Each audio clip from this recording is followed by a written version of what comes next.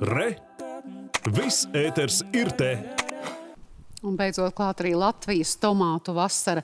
Šo vasaru audzētāji ilgi nevarēja sagaidīt, kad tomāti beidzot sāks sārtoties, jo citus gadus vietējos zelta ābolus varēja sākt baudīt jau drīz pēc jāņiem. Bet tagad gan lauka dobēs, gan siltumnīcās tos jāspēj tik ievākt.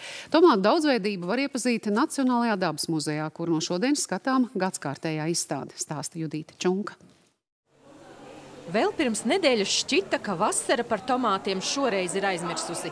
Tie kā negatavojās, tā negatavojās. Sūkstījās gan dārzkopju amatīri, gan pieredzējuši audzētāji. Visiem jau sākās stress, paši tomāti kaut ko gaidīja. Mēs nesapratām, ko, bet viņi gaidīja siltumu. Tiklīdz palika silts, tā viss aizgāja. Tagad ir raža visiem, visos dārzos, siltumnīcās, laukā, visur. Tomātu mīļi saka, šogad tomātiem ir biezāka miziņa. Tomāts visticamāk tā cenšas sev pasargāt no liela karstuma. Labi padevušies ir lauka tomāti. Tos ir arī vieglāk audzēt. Siltumnīcā jau vajadzēja vēdināšanu uzmanīt, un, lai nebūtu cieši kopā tie tomāti sastādīti.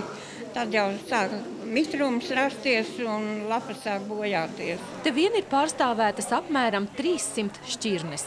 Pasaulē jau labi zināmas un plaši audzētas piemājas dārzos, gan arī tādas, kas atrodamas tikai vietējo kolekcionāru saimniecībās. Bezgala krāšņa, bezgala skaista un nevelti tie mīlestība, tos devie par mīlestību saboliem. un, un, un tā ir tāda lieta, ar ko var saslimt, pilnīgi saslimt. Es esmu saslimusi. Lai gan es bērnībā atceros, mums dārzā auga, un, un, un, un tur īpaši neviens ar viņiem tur necats kājās. Viņi izauga tāpat, bet nu, tagad te ir jau māksla drusku jāpieliek.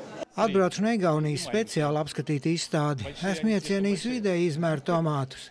Lielie tomēr ir daudz par lielu. Mazie arī ļoti patīk. Lūk, tādi kā ķirsīši.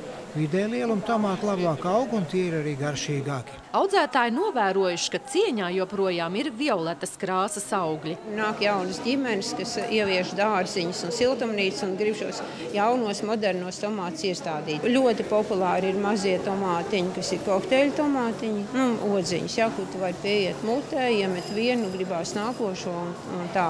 Un dažādas krāsas viennozīmīgi vajag būt, lai būtu sarkans, zelteni, tur oranži, violeti, raibi, nu, viss ne visādi. Un, nu, tad jau arī sviestmaiņas tomāti, jo Latvijas jau mīl tomātu sviestmaiņas.